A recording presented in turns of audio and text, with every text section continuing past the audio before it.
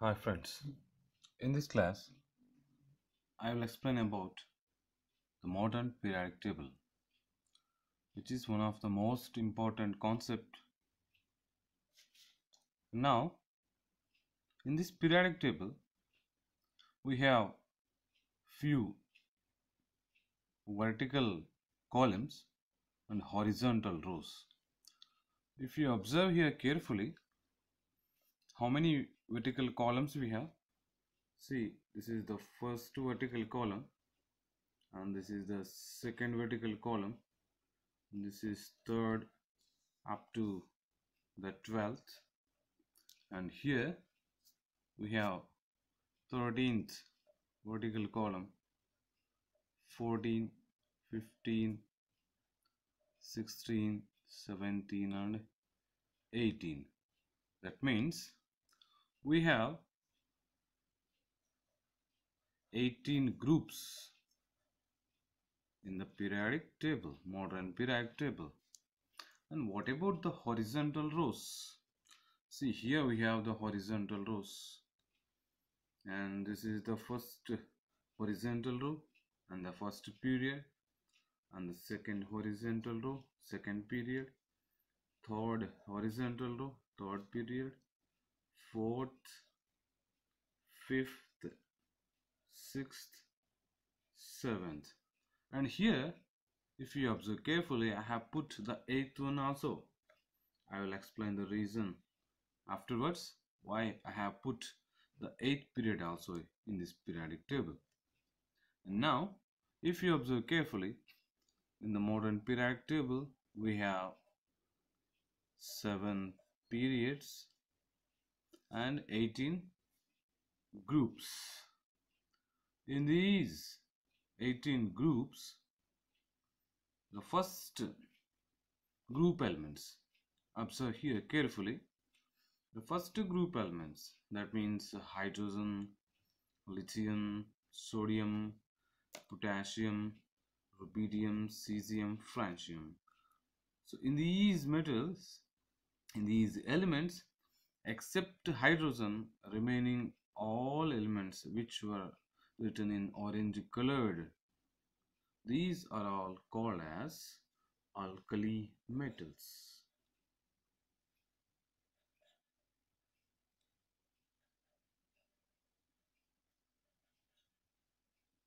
So why lithium sodium potassium rubidium cesium and francium are called as alkali metals because when these metals react with water they will form strong bases. And also these were obtained from plant ashes. And these first group elements are also called as most reactive metals of the most reactive first group of the periodic table and here if you observe hydrogen is placed at the top of the periodic table in the first group. Why it is placed there? There are some specialities of the hydrogen. Actually hydrogen is a non-metal. It has a single electron and its atomic number is 1 so it's placed first. Moreover some of its properties match with the alkali metals. That means these are from lithium to francium. So few properties of hydrogens resembles with these alkali metals. And so it's placed in the group number 1 although it has the properties similar to those of halogens too.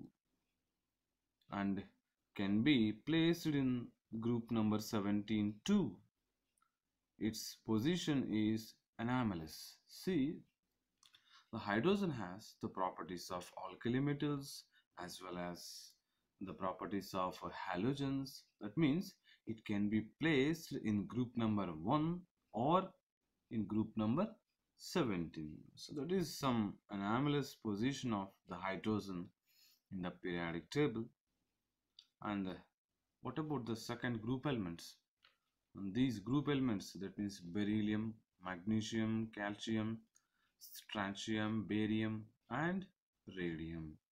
These elements were called as group number 2 elements, that is second group elements. And these elements were also called as alkaline earth metals. So these are called as alkaline earth metals.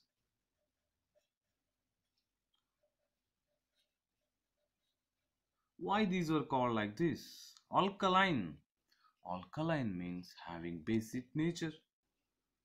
And the solutions which has pH value greater than 7 these are called alkaline solutions and we know that if the solution is if the pH value of the solution is greater than 7 it is a base. And this is second most reactive group. And observe the group number 3 carefully. Here in the group number 3 if you observe carefully I have written an element here. That means lanthanum which has the atomic number 57 after that we have atomic number 72 and where these 14 elements were placed? These 14 elements that is from atomic number 58 to the atomic number 72 these were placed at the bottom of the periodic table and these 14 elements are called as lanthanoids.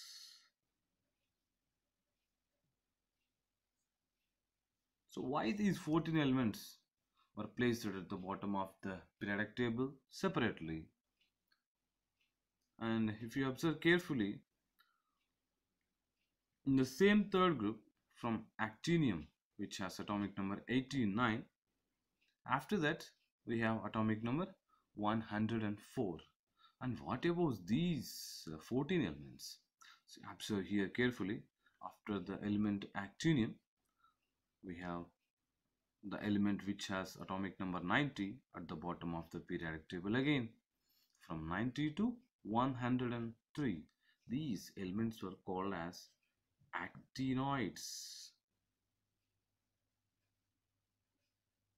and why these were called like this and why the lanthanoids and actinoids were placed at the bottom of the periodic table separately. Because these elements are different from other elements in the periodic table.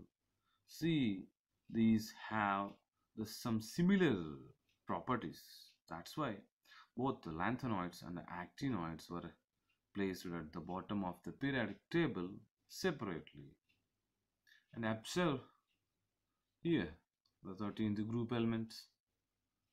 So here after third group we have 10 groups in between these two. Third fourth fifth sixth seventh eighth ninth tenth eleventh and twelfth. After that we have 13th group. That is these group elements were called as boron family. And after that we have 14th group elements and these group elements were called as carbon family.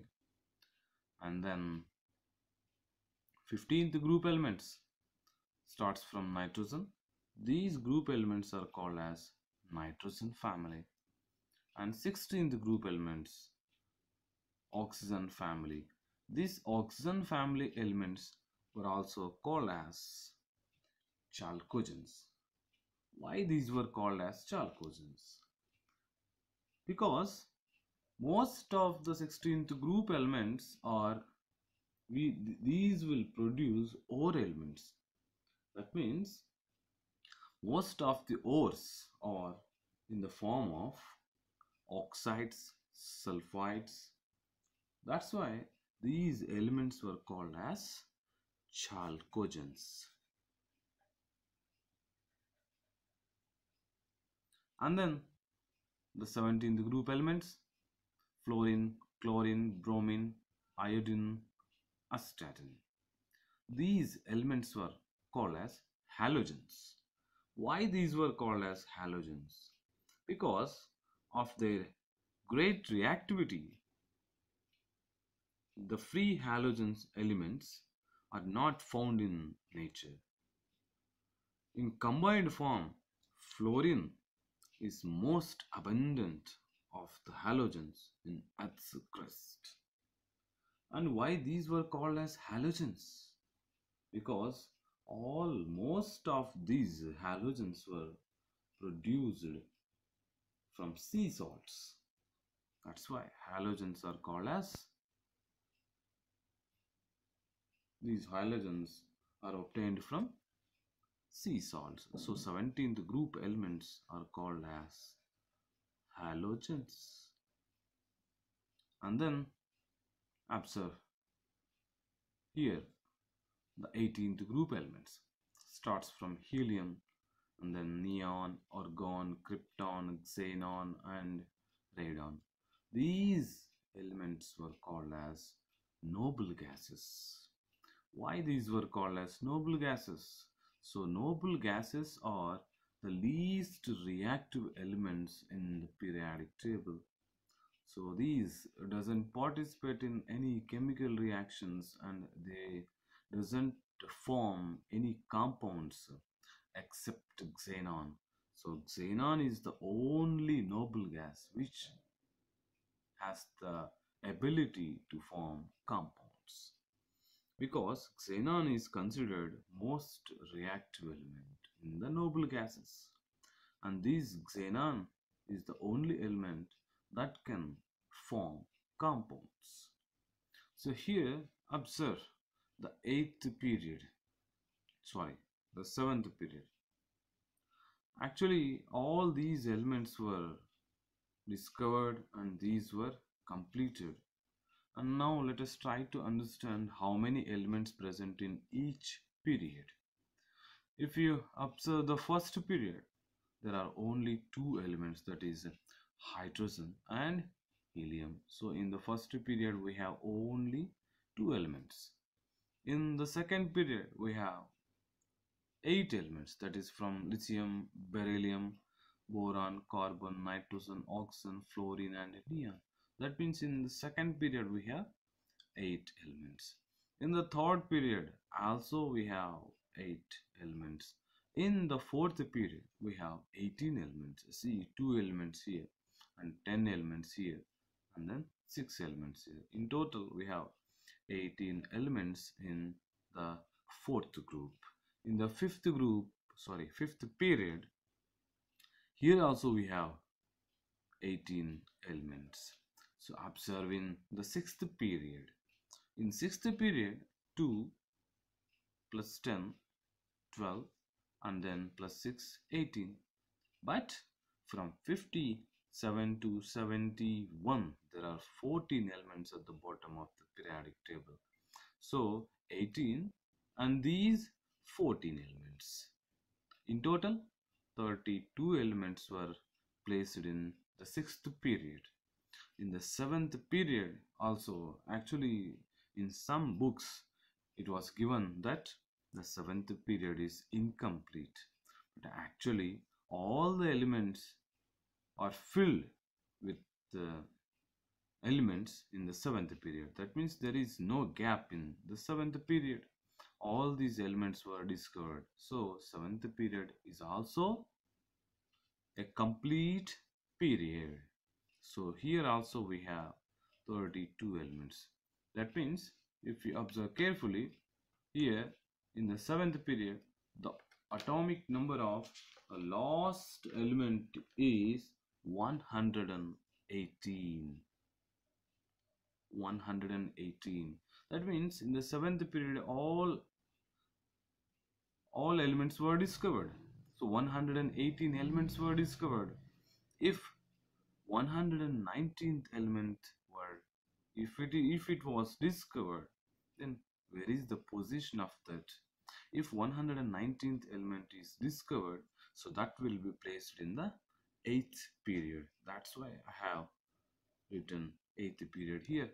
If 119th element is discovered, that should be placed in group number 1 in 8th period.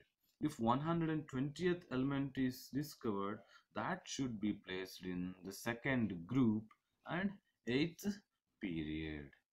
So, this is about the periodic table.